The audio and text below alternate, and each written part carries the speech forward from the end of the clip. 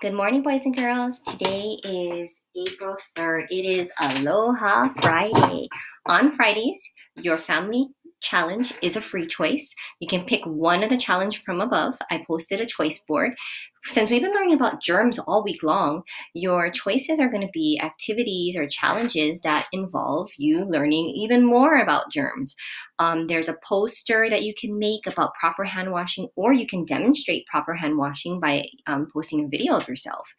There is also a poster you could make about sneezing there's two experiments. One involves bread. Get two slices of bread. The first one, touch it up, get your hands all over it, and put it in a Ziploc bag. And then with the other slice of bread, very carefully grab it with a tongs or a fork without touching it. Put that one in a Ziploc bag and watch them over several days and see what happens to the one you touched and the one you didn't.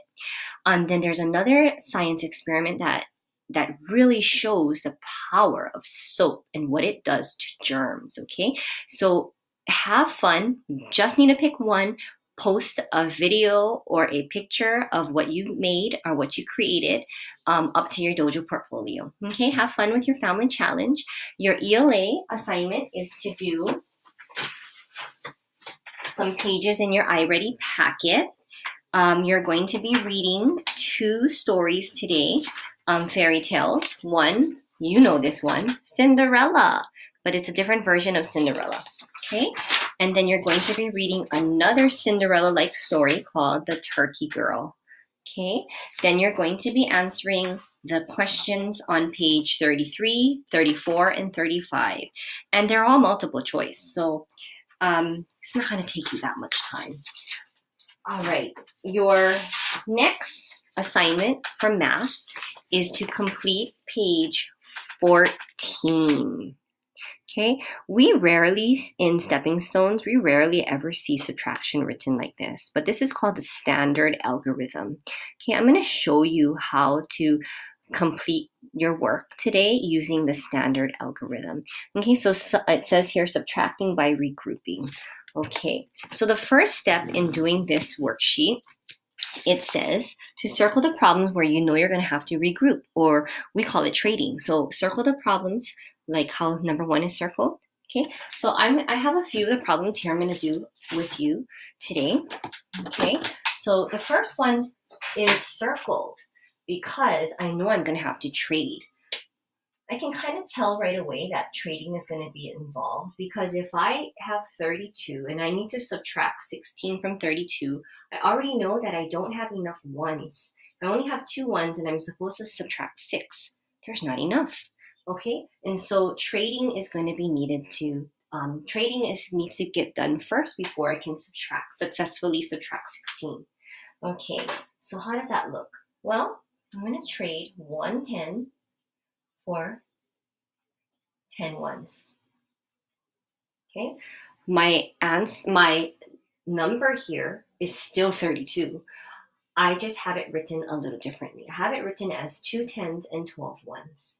Okay, so I'm gonna show that up here. Okay, so I have two tens and I now have 12 ones. Do I still have 32? I do because two tens and 12 ones is still 32. I haven't subtracted anything yet, okay? So now I am going to subtract. I'm going to subtract 16 now. Okay, I'm going to use blue to show my subtraction because I don't want to get confused with with the trade. That's not a subtraction, okay? So now I'm going to subtract. I'm going to minus 1 10 in blue, and I'm going to minus 6 ones. 1, 2, three, four, five, six. Okay, so the blue is showing, is representing the subtraction. All right, so now what do I have? So I had 12 ones and I subtracted six ones. And now I have one, two, three, four, five, six. So that's how, oh, I had it written already. So that's how I had 12 minus 6 is 6. That's how I got 6 down there. Okay, now I'm going to count how many ones I tens I have left. So I had two, and I subtracted one, and so now I have only one. One ten left. Okay, so my answer is 16. Okay, let's look at another problem over here. And this one also comes from your worksheet. It's problem number two. Okay, So I have 48 and I need a minus 15. So I'm going to draw 48 down here. Okay. It says I have to subtract five ones. I do have enough. It says I have to subtract 110, and I do have enough. So I'm not going to circle this one because this one doesn't need any trading. Okay, this one I can actually just subtract 8. I can subtract I can subtract 5 minus 8, or um, 8 minus 5, so I'm taking away 5. 1, 2, 3, 4, 5, excuse me. And I have 3 left, and I'm taking away 110, and I have three tens left. Okay, so this one did not involve any trading at all. I had enough to subtract 15 in all um, in all place values, so I do not have to subtract. I do not have to circle 2. Okay, let's look at number 4. Sorry, getting a little tongue tied here. Okay, let's look at number 4. Do you think I'm going to have to um, trade or regroup? Hmm. I have 63. 63 is six tens and 3 ones. And I need to subtract 39. What do you think? Let me draw it out.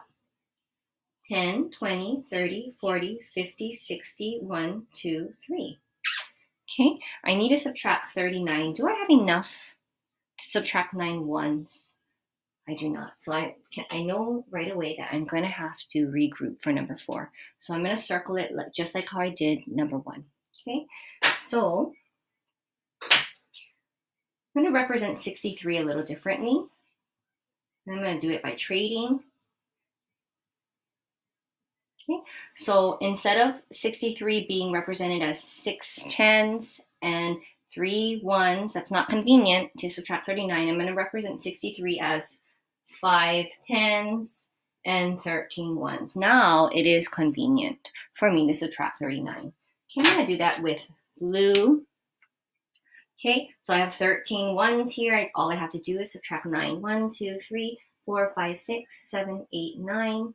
Okay, and after I subtract 9 from 13, I now have 4 ones left.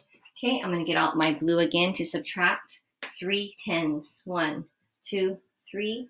After I subtract 3 tens, I now have two tens left over. All right, so that is how to use the standard algorithm. Okay, mom and dad, I'm sure, can help you a lot with the standard algorithm since we know parents know how to do that method very well. Okay, um, if you look at your worksheet, there's not a whole lot of space to do any showing of work in between these problems. So I highly recommend that you use scrap paper okay, and solve the problems out using your base 10 strategy as well and the algorithm. Have fun. Bye.